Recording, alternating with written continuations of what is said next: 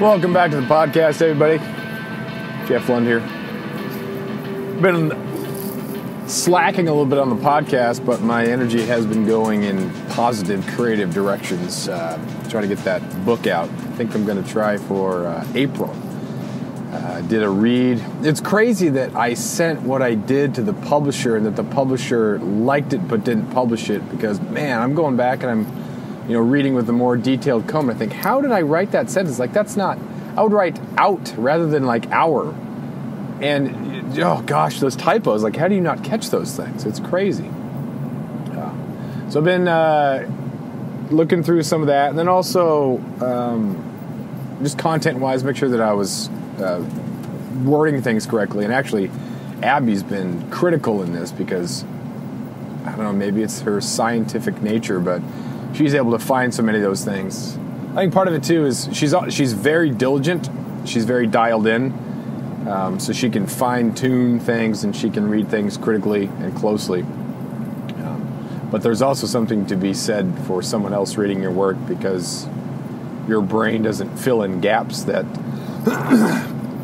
that um, others might not. Um, you know, when you're, you're reading something that, that you wrote, your brain is going to say, oh, yeah, we're good to go, and, and maybe not catch those things that someone else is going to catch because they didn't read it, so going to read it more closely. So uh, she's been great uh, doing that. Then I got to add a couple of consultants currently, they're looking at it. And these are expert consultants. Uh, they kind of represent parts of the audience, the people I'd want to read that, and they're also people who are going to tell me what's what's weird, what's messed up, what's uh, what's good about it. Um, so I'm, I'm, encouraged to get their feedback because they're not the type of friends who are just going to say, ah, hey man, it's great. You know, when you're peer editing stuff when you were a sophomore in high school and your friend had a green pen or something and just wrote a smiley face and said, great job, I love it. And then you get a C on it. Thanks, hey, thanks for reading that. Gosh, it was great, according to you. Peer editing sucks often. Um, so I have it at um, with three friends who I know are going to give me some good feedback, and that's I'm excited for that. So I sent them some some goodies um, to pay them for their services. Uh, not it's not an official transaction. I'm getting myself in trouble here for. Know, it's tax season here, and if they're doing uh, unofficial off the books editing, you know, whatever. So, but excited to get that out. So that's kind of been taking over my brain. And then a separate writing project. Part of me has missed the sports writing. I got a degree in journalism from the University of Arizona, and while I was there, I was covering sports. I covered the men's basketball team, and I, I kind of miss sports writing a little bit. So I'm working on some working on a writing project about uh, Region Five basketball, uh, and just kind of the unique. The, the travel, the tournament, everything about Region 5. Um, so I'm looking into that and it's kind of funny to think about some of the memories from high school sports, you know. Uh, knowing, of course, that some people have never really let it go, and that's kind of sad, but you can look back and say, man, that was a crazy game. Or, oh, I remember that game. Remember when this guy did, was, was you know, just went off. There's a guy from Hoonah when I was a junior they were seeded probably fourth or fifth, and they upset an undefeated team in triple overtime. Then they upset the number one seed that waxed us, and then went all the way to state championship. You're just like, dude, that's crazy. And it was just like that March Madness run, but because it wasn't, you know, a college basketball team, like no one probably remembers unless you were in that gym, you know, in uh, 1998 or whatever that was. So uh, we start remembering things like that. It's just like little details, and it's kind of fun to look back and kind of smile and laugh and go about your life and not say, "Oh gosh, that game was the turning point in my life," and because we lost, I, you know, whatever, or because we won, I thought I was all in. You know, so that happens too, which is kind of sad. But uh, I've been tracking down some people. It's been fun to talk about some of those old memories. So. After years of fine print contracts and getting ripped off by big wireless providers, if we've learned anything, it's that there's always a catch. So when I first heard that Mint Mobile offers premium wireless starting at just 15 bucks a month, I thought, what's the catch? But after talking to them and using their service, it all made sense. There isn't one. Mint Mobile's secret sauce is that they're the first company to sell wireless service online only. They cut out the cost of retail stores and pass those sweet savings directly to you. For anyone who hates their phone bill, Mint Mobile offers premium wireless for just 15 bucks a month. I was hesitant about having to get a new phone and a new phone number, but with Mint, you can use your own phone with any Mint Mobile plan and keep your same phone and your same phone number along with all of your existing contacts.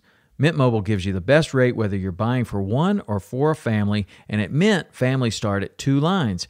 All plans come with unlimited talk and text plus high-speed data delivered on the nation's largest 5G network.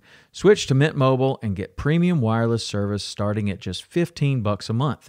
To get your new wireless plan for just 15 bucks a month and to get the plan shipped to your door for free, go to mintmobile.com slash waypoint. That is mintmobile.com slash waypoint.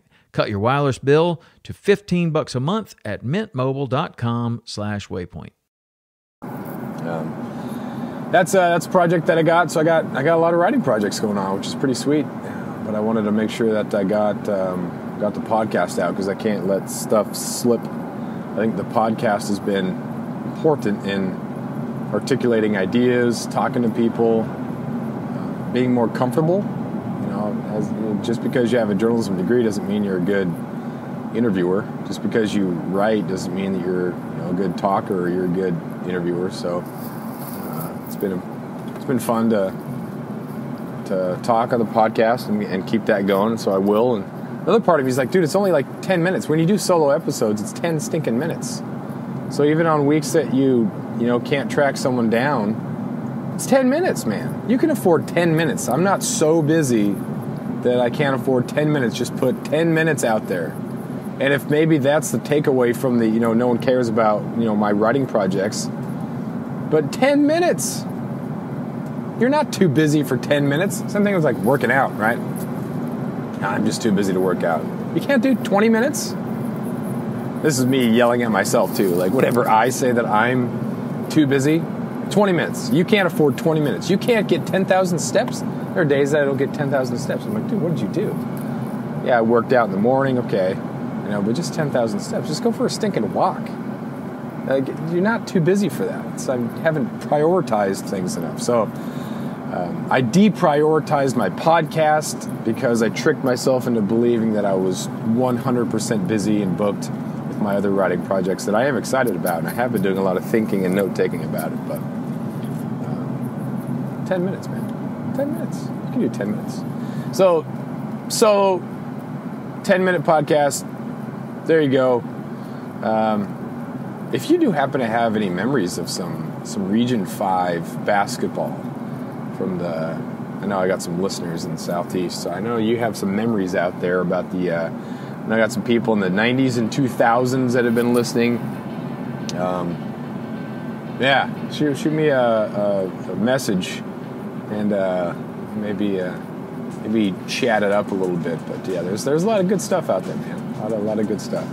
So, call that this episode. Take care, and uh, we'll talk to you next time.